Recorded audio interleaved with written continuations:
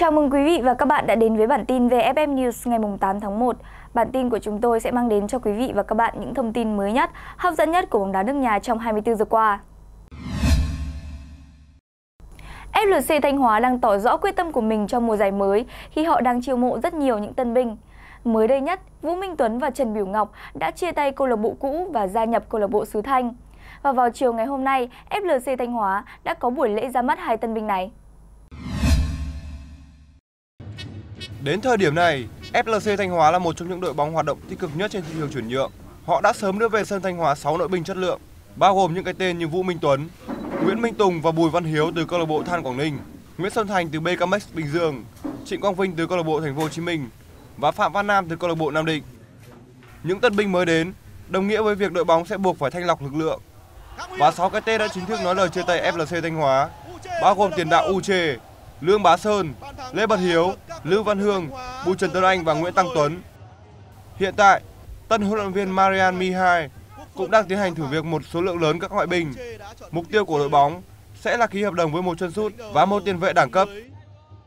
Sắp tới, FLC Thanh Hóa sẽ đại diện cho Việt Nam tham dự AFC Champions League 2018.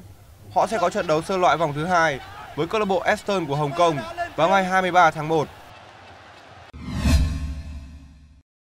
Hiểu rõ về tầm quan trọng của truyền thông báo chí cũng như các phóng viên thể thao trong việc truyền tải thông tin các giải bóng đá chuyên nghiệp tới người hâm mộ. Vào sáng ngày hôm nay, VPF đã tổ chức buổi họp mặt đầu xuân phóng viên các đơn vị thông tấn báo chí nhân dịp đầu xuân năm mới năm 2018.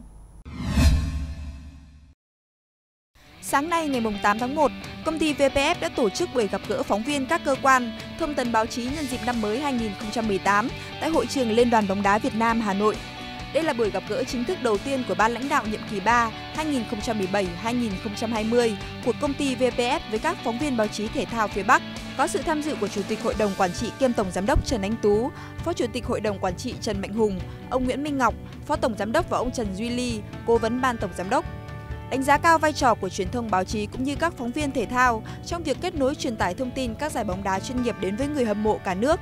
Ông Trần Anh Tú gửi lời cảm ơn các đơn vị báo chí đã luôn chia sẻ, đồng hành với công ty VPF.